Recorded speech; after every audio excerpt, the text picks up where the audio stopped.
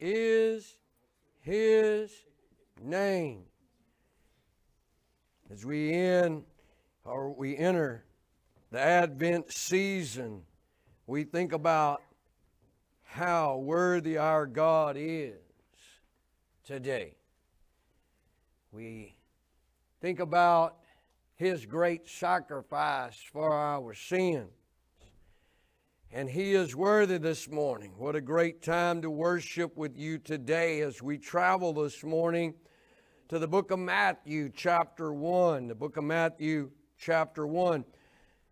Even though we're entering into the season of Advent, I felt impressed by the Lord to continue our biblical roles of God. and we're going to talk about Jesus coming into the world. Worthy. Worthy is He today. You know, none of us are worthy today, but He counted us worthy. Now, I want you to think about what I said. I don't want to bury us in unworthiness, but listen to me, guys, as you're traveling to Matthew chapter 1 we're unworthy today, but He counted us worthy. Now, think about what I'm saying. He counted us worthy to come, right? He didn't have to come. Somebody said Jesus had to die. No, He didn't. He chose to die. And you need to get that right because He chose you and me, and that's the reason He came, and that's what makes it so special today. So, in our biblical roles of God, uh, I, I want to talk about today why the virgin birth. Why the virgin birth. And it's so good to see all y'all today. I know you had a great Thanksgiving and had a good time and with family and friends. We've got our Thanksgiving this afternoon with our family and I'm kind of excited. We got duck gumbo cooked by my wonderful wife and we've got uh, crappie coming on. We're not really, really traditionalists, but anyway, uh, we're having a great time, and I know y'all are too as well.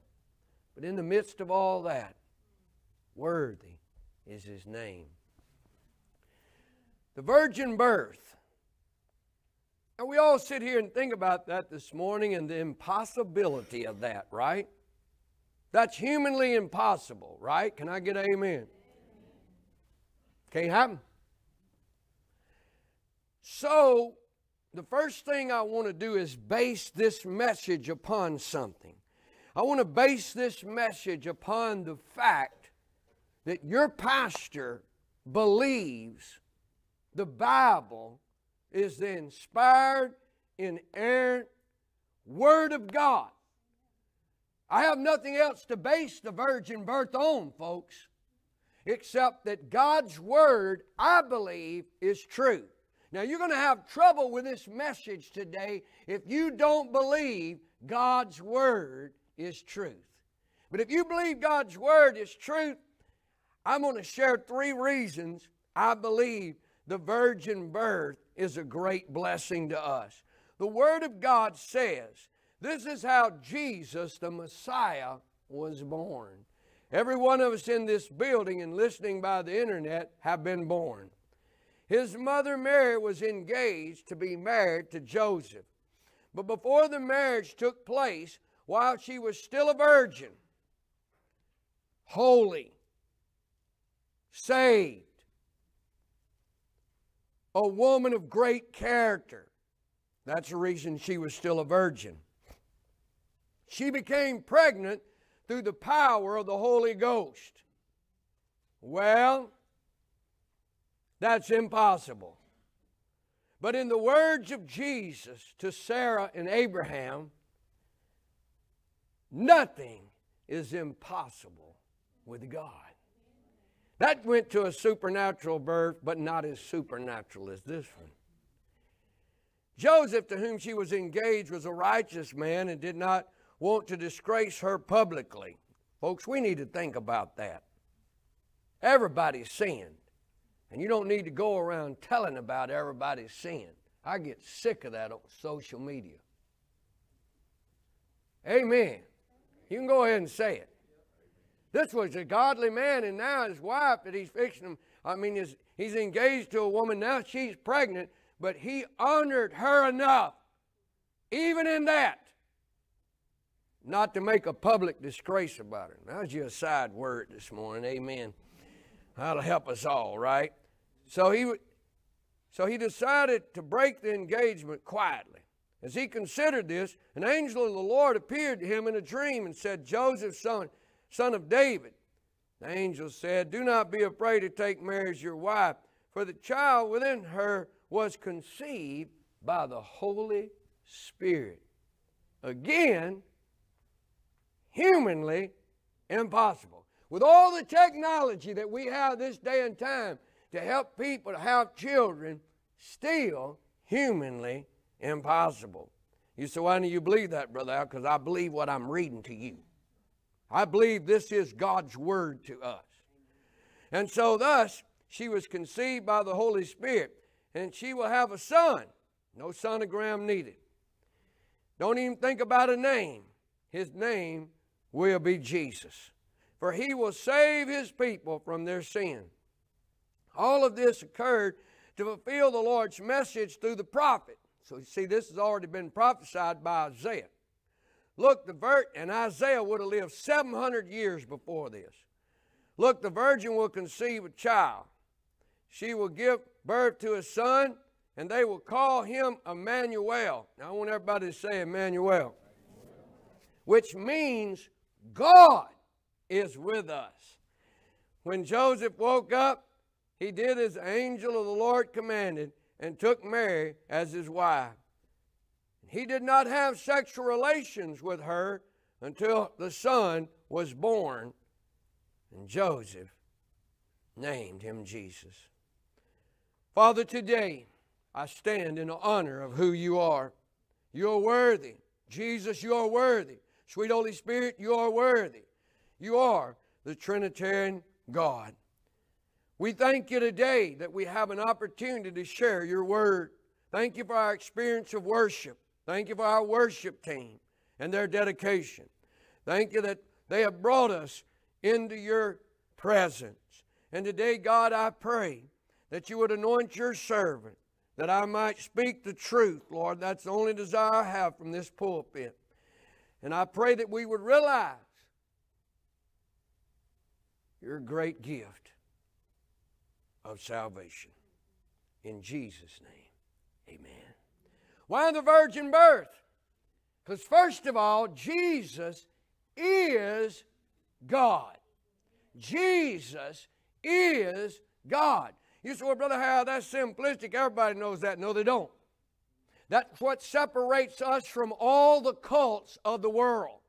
That's what separates us from all the cults of the world. The cults in the world say Jesus is the Son of God with power, but not literally God. And so, all the religions of the world, it would separate us from all the religions of the world when we say Jesus is God. And you need to say that with faith, you need to say that with confidence. Now, I want you to write this down. The virgin birth reveals Jesus' pre existence. It reveals Jesus' pre existence. Why does it reveal his pre existence? John chapter 1. And again, I'm going to look at a lot of scripture today. This is based on scripture. If you don't believe the scripture, you're going to have trouble with the virgin birth. And in our day and time, some people don't believe that. But if you, if you question them, they tell you they don't truly believe the scripture. But I believe the Word of God. And what does it say in John 1 1? It says, In the beginning, the Word already what? Existed. The Word was with God. There you go. And the Word was God. The Word is God. He existed in the beginning with God, and God created everything through Him, and nothing was created except through Him. The Word gave life to everything that was created, and His life brought light to everyone. Light and life go hand in hand. I don't have time to deal with that this morning, though. The light shine in the darkness, and the darkness can never, everybody say never. I don't care how dark this world gets. I don't care if ever devil of hell comes against us. They cannot bring a darkness that God's light cannot break through. And I know we live in a dark and sinful world, but the light of God shines as bright as it's ever shined.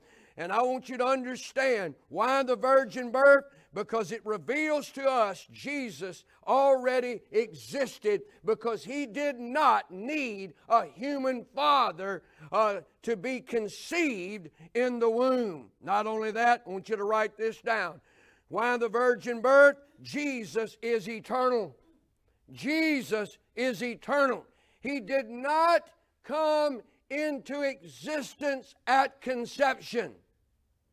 He did not come into existence at conception or when he was born in the manger. We know he is eternal, the Bible says, and you can write this scripture down.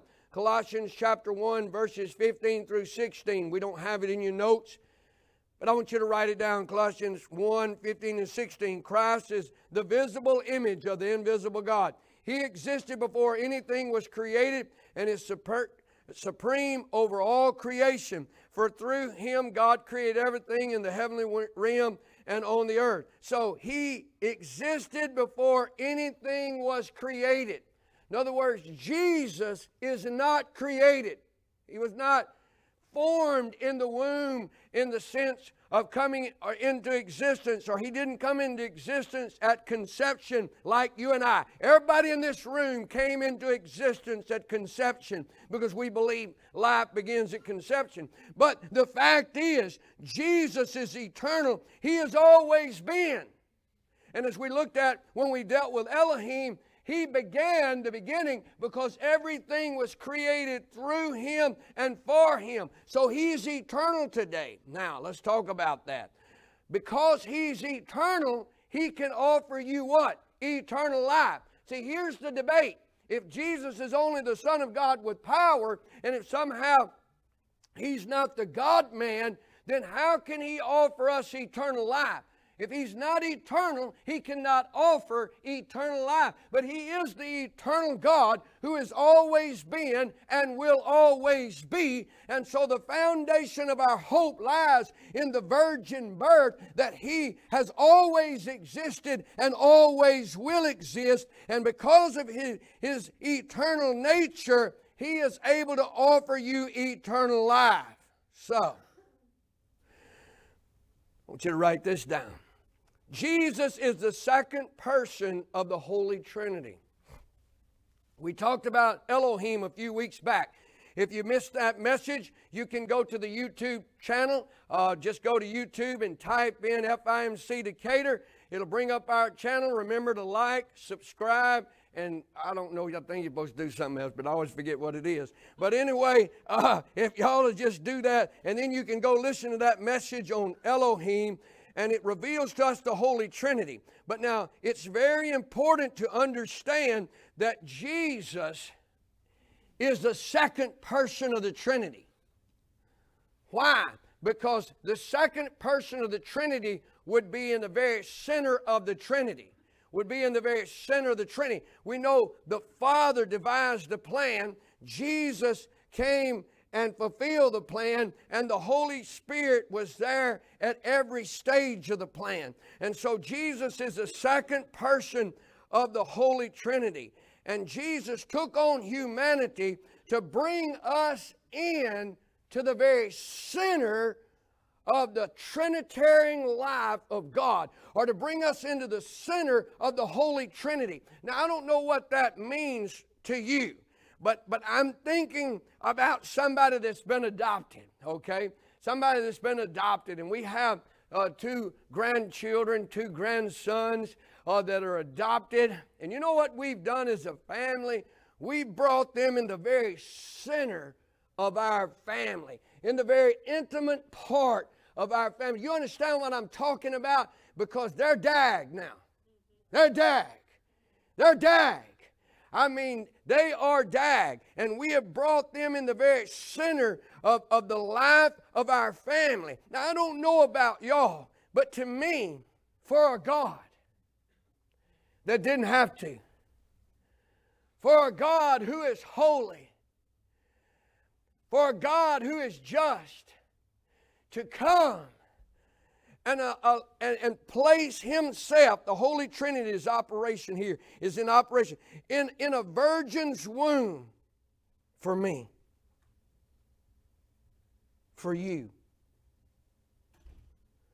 And not only to do that, but to come and die and rise again to bring us into the life of God.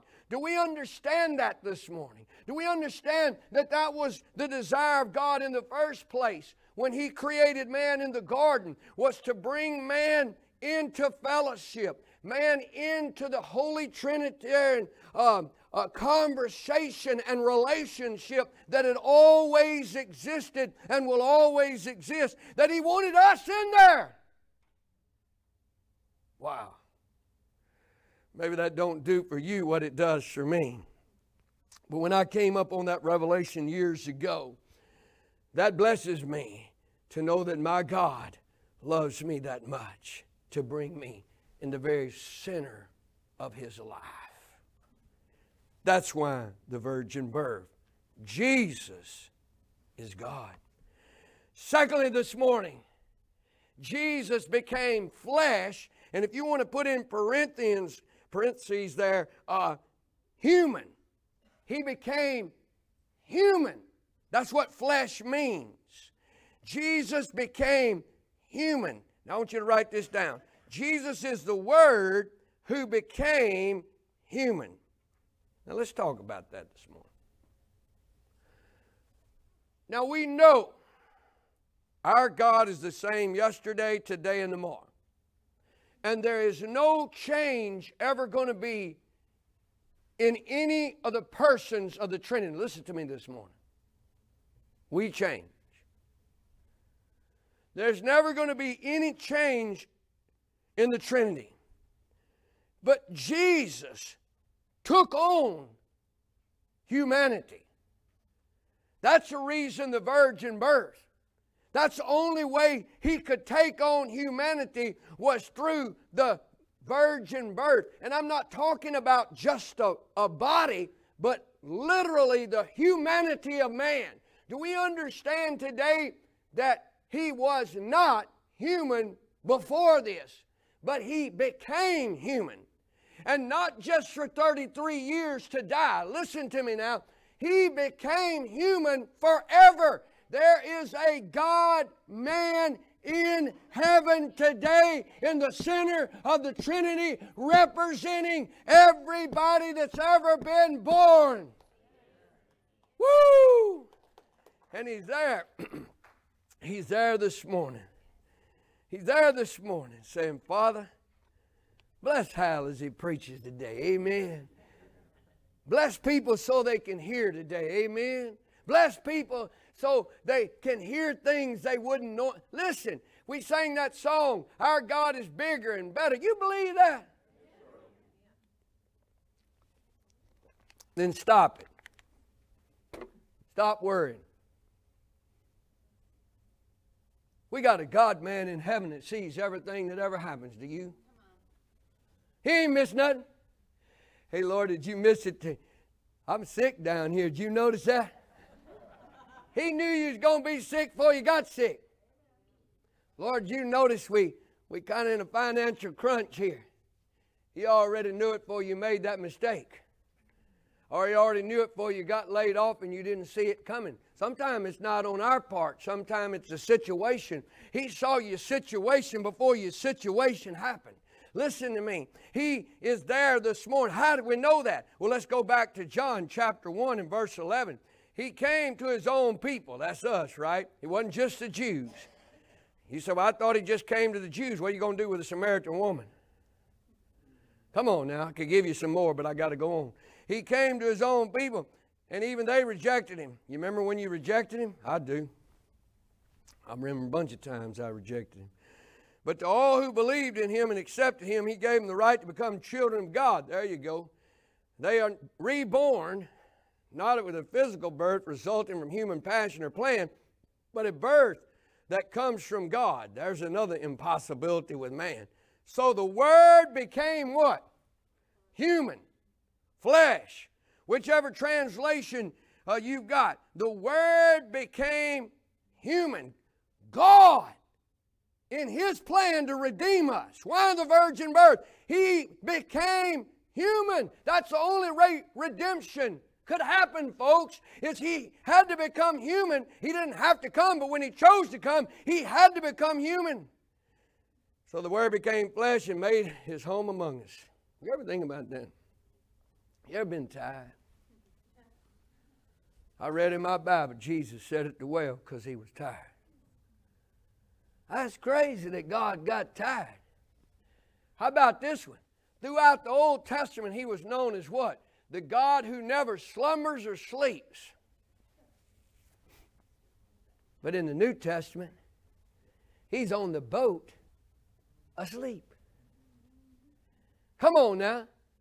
The Bible says he was hungry when he was going. You ever been hungry? Hangry? Come on now. He got thirsty. He went to the bathroom. Are y'all all right? Now, the Bible says the angels were given charge over him that they, he would never dash his foot against a stone because the prophecy there was no bone in him would ever be broken. Well, I wish I had that angel. But anyway, I was just side nobody. Man, how many y'all been like, man, I need that angel too. But look here now, I'm trying to tell you something. Human. Human. We understand that? We understand the love. Do we understand that He does know what we go through? He experienced hurt. All the disciples left Him in the ire when He needed them the most. You ever had somebody do that to you? You don't call their name out. Just pray for them. Amen. Come on now. Think about it, guys. He looked over the city and it broke his heart. Heart ever been broken? Betrayed. He was tempted in all points, like as we are, yet without sin.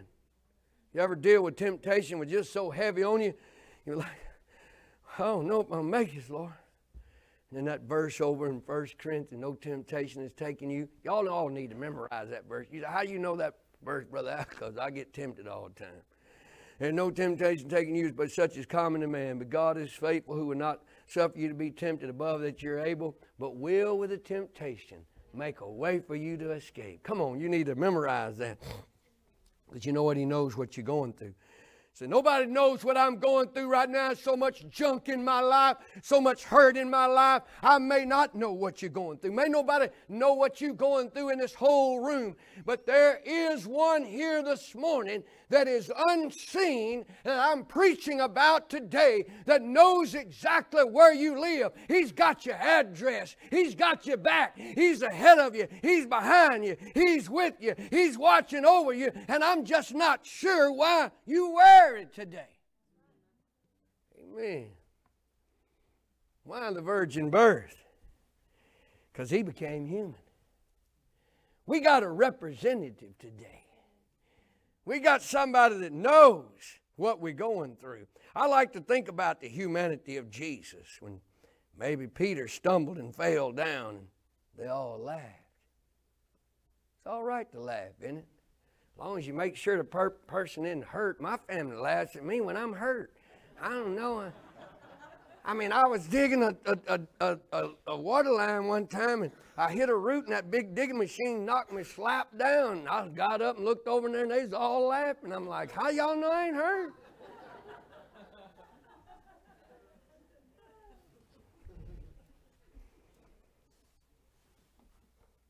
he was hurt. Ever feeling, every emotion you've ever experienced, Jesus experienced. Lazarus, his friend, died.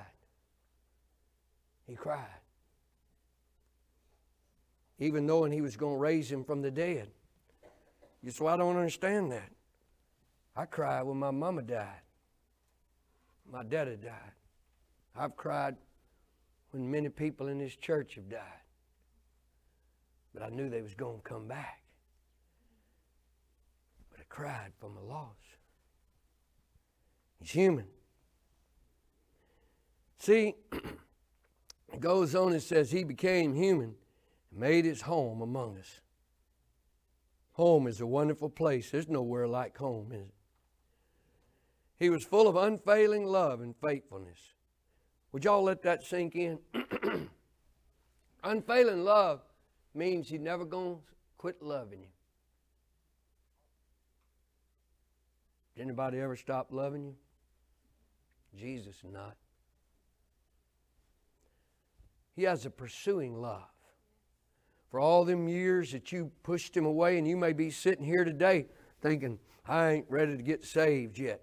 And you're steady pushing him away. And his love for you is as great as his love for your pastor up here that serves him and loves him.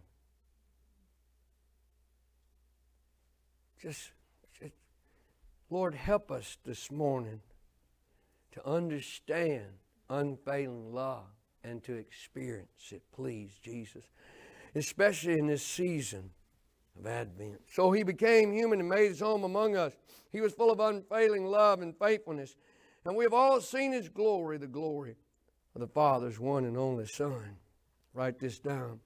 Jesus became human to become the perfect sacrifice for sin. I love my family. Love my wife. Been my girlfriend for 45 years. But I can't die for her. I love y'all. There ain't no, there's not a person in this building I don't love. I mean that. But I can't die for your sins. Much as I love you, I can't get saved for you, and I can't die for you. And what I'm trying to paint the picture for you is this we was all in a hopeless situation.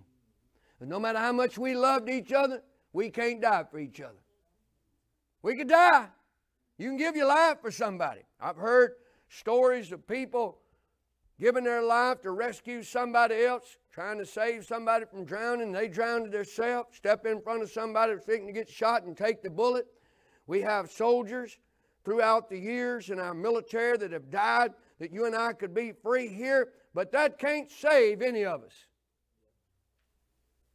But Jesus. He became human. Why the virgin birth? So he'd be the perfect sacrifice. Why? Again, going back to the first point. He is God. God is holy. God is without sin. We needed somebody without sin to get us out of sin. Have y'all got that this morning? We needed somebody out of sin. We needed somebody holy and just and righteous that sin had, had no way of tainting his life. We needed to be rescued.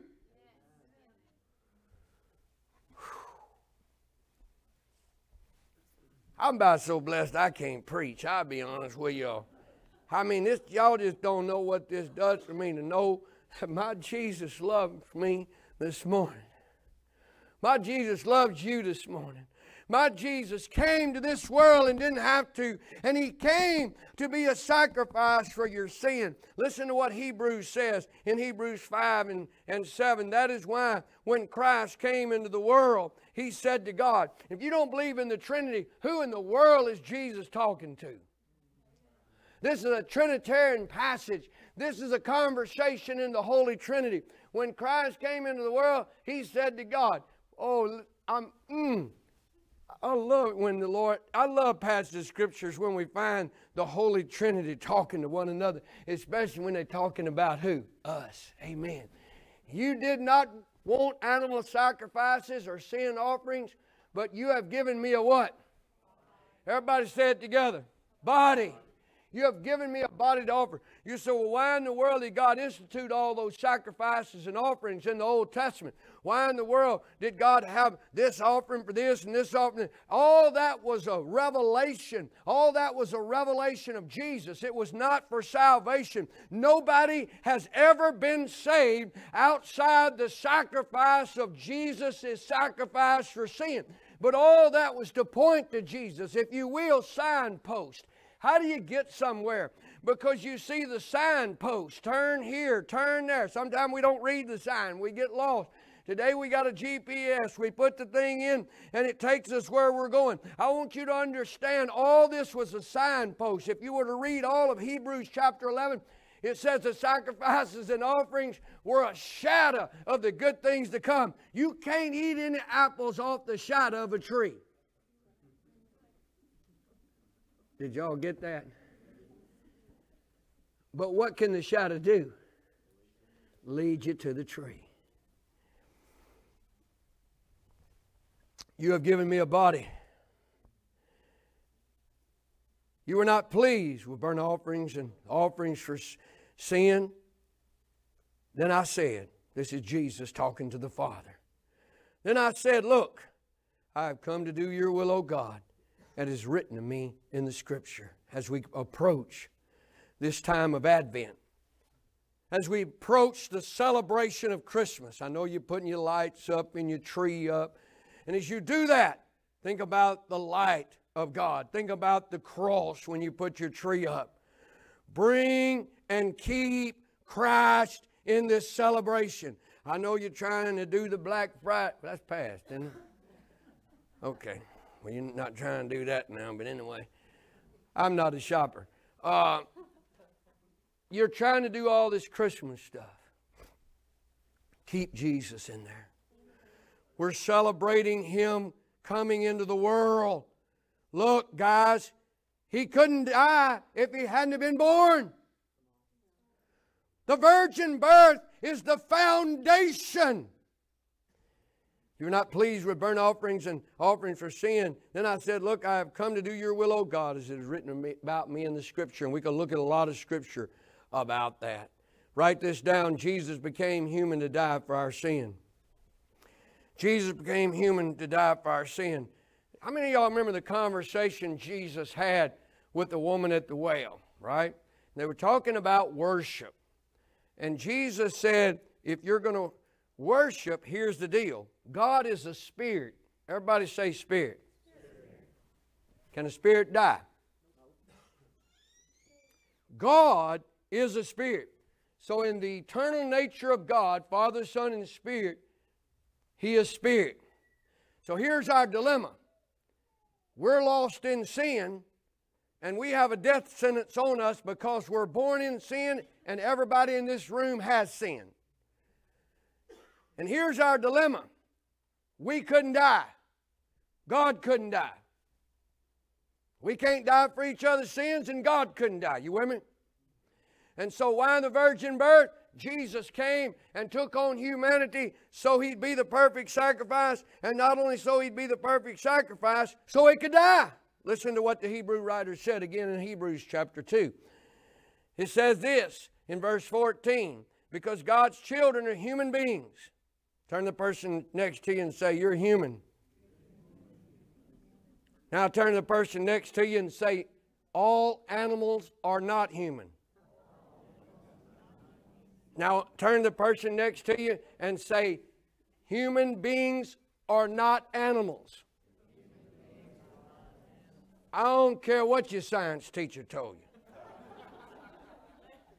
You say, How do you know that, Brother Hal? I believe the Bible. Listen, everything, everything, I, I don't have no proof in my pocket. I don't have any physical proof. What I do have is better than anything that can be seen. It's that I believe this is God's Word. Because God's children are human beings made of flesh and blood. The Son also became human, flesh and blood. For only as a human being could he die. Do you see that, folks? Why the virgin birth? He couldn't die for our sins. He couldn't be the perfect sacrifice. And only by dying could he break. Everybody say, break. The power of the devil. Woo! He ain't got nothing on me.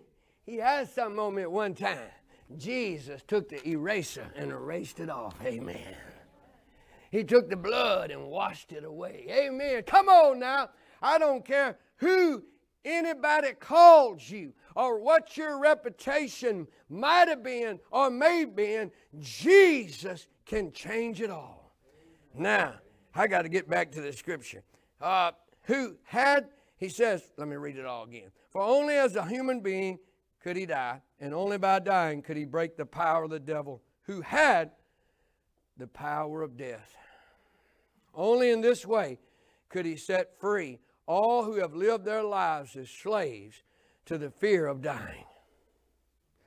We also know that the Son did not come to help angels. Stop saying you're going to be an angel when you get to heaven. I'm going to get me some wings. You know, I don't get nothing. Never in the Bible does it talk about, I don't want no wings. I want the glorified body, and it don't come with wings. All right? I'm, I'm not going to be an angel when I get to heaven. I never have been an angel, and I'm not ever going to be an angel. But anyway, I just thought I'd get y'all going with that. Amen. Help me, Lord. All right, only in this way could He free all. You want to be free this morning? Come to Jesus, who lived their lives as slaves to the fear of dying. Let me tell you something, folks. I'm going to leave this body, but I ain't going to die. When I close my eyes, I'm going to see Jesus. We also know that the Son did not come to help angels, He came to help the descendants of Abraham. Why the virgin birth? Because Jesus needed to die for our sins. Jesus had to take on humanity to bring us into the center of the Trinity. And not only that, why the virgin birth? Jesus overcame death. Jesus overcame death. How? Remember what the angel told Mary in Luke? You remember what the angel told Joseph in Matthew? What is conceived in the womb is conceived of the Holy Ghost. Write this down. Because of Jesus' eternal nature, death could not hold him. Death has held everybody that's ever died. Up until Jesus died and rose again. All the Old Testament saints, what does it say in Hebrews chapter 11? They all died in faith, not having received the promise. Why? Jesus hadn't come yet. But when Jesus came and died, the Bible says in the book of Revelation that he went to hell and that he got the keys. Amen. He got the keys to death, hell, and the grave. Amen. I don't plan to be buried. They're going to do something with this body, but I don't know. I ain't going to be in it no longer, so they can do what they want to do. And don't come by and say, Brother Hal looks good. You say, Brother Hal, gone. because of Jesus' eternal nature, He's God. He's God, guys. He took on humanity. Listen to what Peter preached. I like I love Peter's message. You should read it sometimes. After he was filled with the Holy Ghost on the day of Pentecost, he preached 3,000 people got saved. And it says in Acts 2 22, people of Israel, listen. People of FIMC, listen. God publicly endorsed Jesus the Nazarene by doing powerful miracles, wonders, and signs through him, as you well know. But God knew uh, what would happen. And in his prearranged plan was carried out when Jesus was betrayed.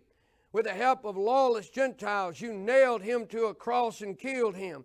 But God released him. Come on now. Look at verse 24. But God released. Listen, God released. Why is God? God released him from the horrors of death and raised him back to life. For death could not keep him in its grips. Woo! I, man, can y'all grab? I'm just old wham. I'm sorry. I'm just old. Sometimes I do get speechless. Amen. Believe it or not. But hey, listen to me. Hell thought they had him. He died. They all looked at him. Come off the cross, they said, and prove you the Son of God. He had he had other, other ways of proving he was the Son of God. And they laid him in the tomb, and a day passed. And they laid him in the tomb, and two days passed. They laid him in the tomb, and the third day started coming up, and hell thought they had him. The Pharisees thought they was done away with him. And all of a sudden, somebody said, I think I saw him move.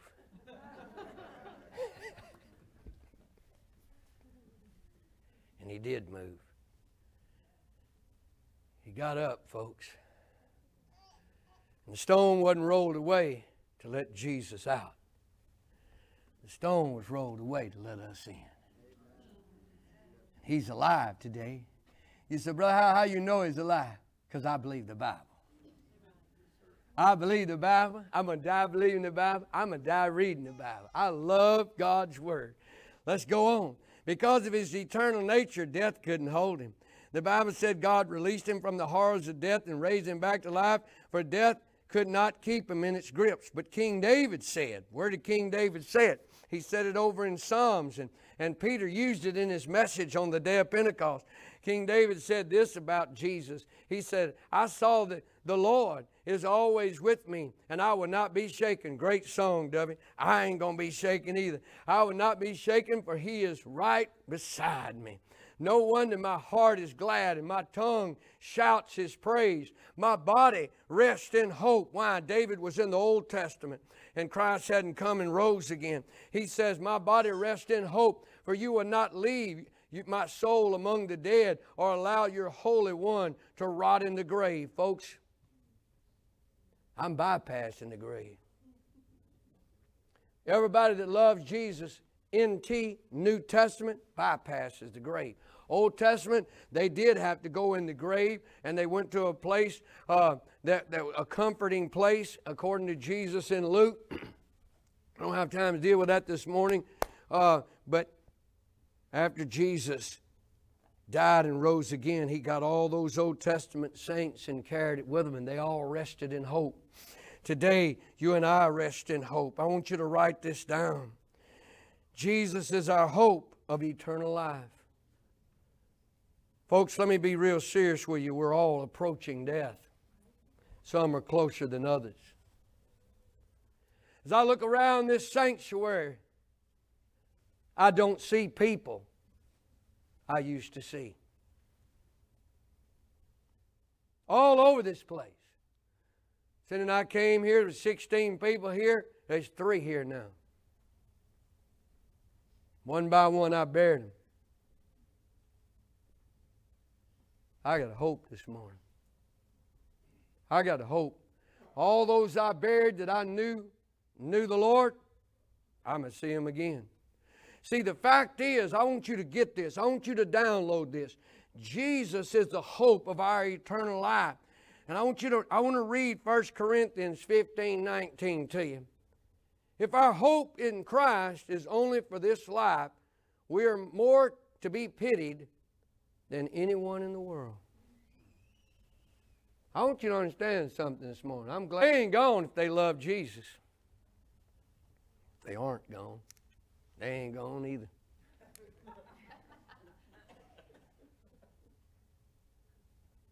Come on, guy. Preached a lot of funerals. You know the ones that break my heart? The ones I've had to preach where I knew the person wasn't saved. Knew I'd never talk to him again. I'd never see him again. You say you can't judge people. No, I can't. But I buried some people I knew didn't know Jesus because I'd ask them before they died.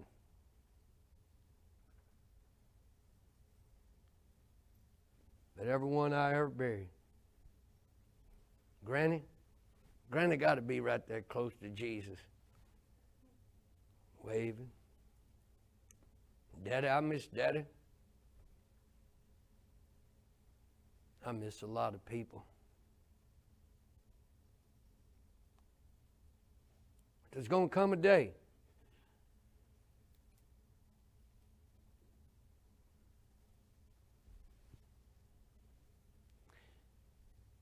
It's going to come a day when I'm going to see him again. Matter of fact, it's, it's coming a day when no tears will be in my eyes. It's coming a day, I hope, where the circle won't be broken and I'll look and see you, who I pastored There ain't nobody that I don't want to make heaven. Even people that are my enemies. If our hope in Christ is only for this life, we are more to be pitied than anyone in the world. But in fact, Christ has raised from the dead. You say, How do you know that? Because I believe the Bible. He is the first of a great harvest of all who have died. So you see, just as death came into the world through a man, Adam, now the resurrection of the dead has begun through another man, Jesus, or just as everyone dies. Folk, we all gonna die. He said, Man, I come to be blessed this morning, Brother Hal. That's a downer. You get a little older, it becomes a praise. Amen. My grandma used to say, I'm tired. I'm about to get there. Amen. Just as everyone dies, because we all belong to Adam, everyone who belongs to Christ will be given new life. There's an order to this resurrection. Christ was raised as the first harvest. Then all who belong to Christ will be raised as the first harvest. And all eh, are raised when we when he comes back. so folks, look. Do you understand we have a living hope? If we just had a hope in this life, it would be a hope that would die one day. But see, we all live with this hope. And, and there's a lot of people I want to see, but I don't want to leave you hanging on that. I listed a lot of people I want to see, but let me tell you who I want to see the most. One I want to see the most is the one that I've preached about for 36 years. That's the first thing. It's going to be some people behind me. Ain't going to be nobody in front of them. Amen. And when I die, I don't know where that's going to be, how it's going to be, when it's going to be. I just know it's going to be. And when I die and close my eyes,